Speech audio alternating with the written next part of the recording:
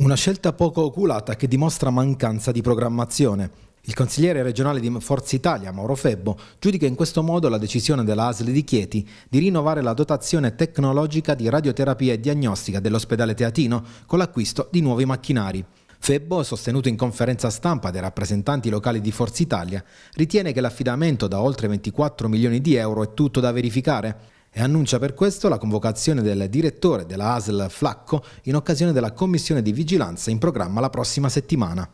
avere eh, macchinari di alta tecnologia per esami importanti fa piacere, però ci poniamo alcune domande che sulla delibera eh, ci vengono spontanee. A oggi la ALS di Chieti ha due macchinari, uno acquistato nel 2014 e uno oramai obsoleto eh, acquistato nel 2006. Vorremmo capire perché quello acquistato nel 2006 nel frattempo non è stato cambiato, non è stato sostituito. C'è un gruppo di lavoro composto da 13 professionalità di altissimo livello come peraltro ci sono nove primari, nove direttori di O,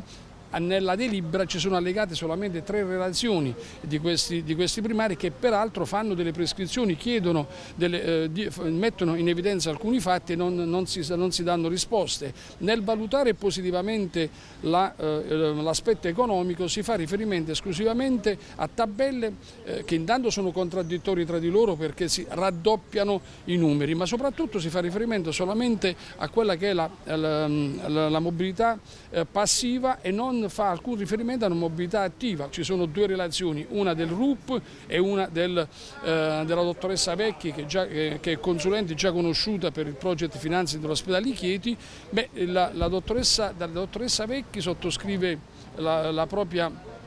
la propria relazione in data 8 agosto, il, eh, ma fa riferimento ad una, ad una relazione del RUP sottoscritta il 16 agosto, cioè